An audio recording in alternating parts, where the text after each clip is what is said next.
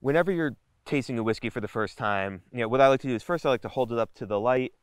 I like to start nodding my head very slowly, very seriously. And I like to keep doing this until everyone around me kind of acknowledges that I am a serious whiskey expert and, uh, you know, my, my opinions should not be should not be trifled with. right, right, right. I could do that. mm. Yeah. like pro- like Yeah, a pro. Uh, If I smack my lips, do I taste more? uh, you certainly taste louder if you smack your lips. Yeah.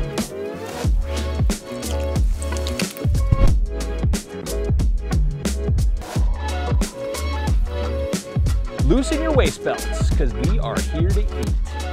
KAVU Cooking. It's what's for dinner. KAVU Food Network. Um, anything else? Living in Wyoming, I came from a bourbon background. And as I transitioned to Scotch whiskey, I did find there was a bit of a learning curve.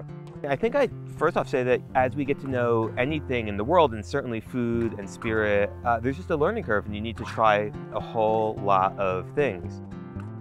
Glenfiddich is a family-owned and operated distillery uh, dating back to 1887, and we are in the realm of single malt Scotch whiskey. So, single means it's all from one distillery. Malt means it's made all from malted barley, and Scotch whiskey, which in Scotland is just whiskey.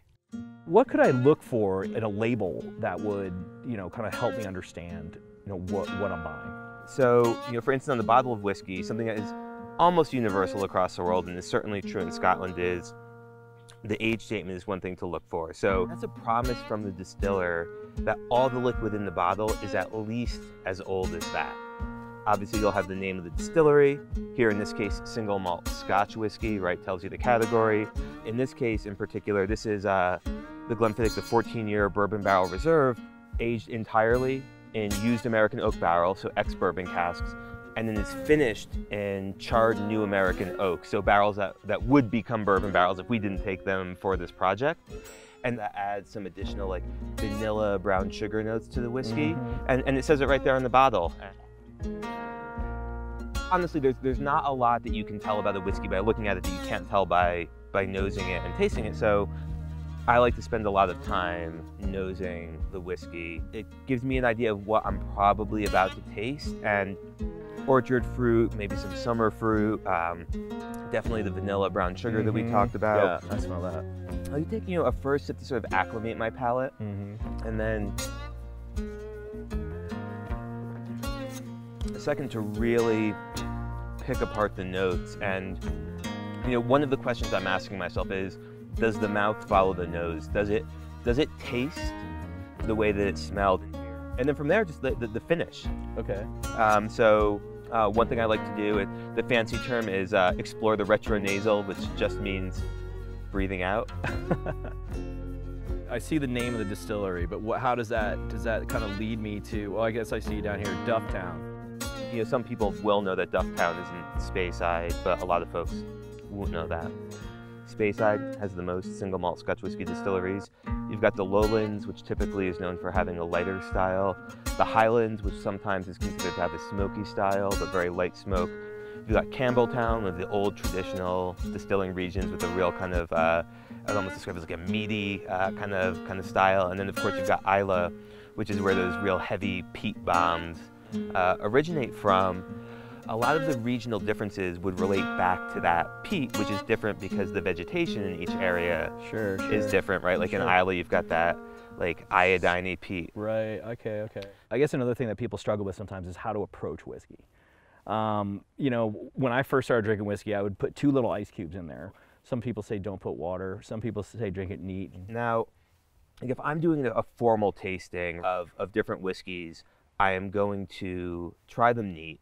I might put some water in there, but I'm, I'm not going to put an ice cube in because as it cools it down, it can suppress some of the Right. uh, flavors and aromas. And I'm going to be using a, a Glencairn glass like this, which is really nice at allowing the aromas to come up and concentrate in the glass. Okay. You know, before dinner, I, I might be drinking my whiskey on the rocks. I think it's kind of a nice aperitif style that way. Right. At the end of the day, you need to drink your whiskey in the way that you're going to enjoy it.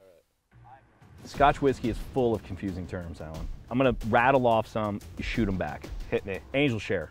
The proportion of whiskey maturing in the cask that escapes to the angels through the air over time. Dram. I've heard the dram described as a measure of whiskey acceptable to the person pouring the whiskey and the person receiving the whiskey. Hoggy. Ah, so Hoggy is short for hogshead, and it is an American oak barrel that's been rebuilt slightly larger and is one of my favorite vessels for aging single malt Scotch whiskey. Butts. Butts. Ah, so sherry butts, uh, another great vessel for aging single malt Scotch whiskey. Would you say the butts are big? Uh, they're they're all 500 liters.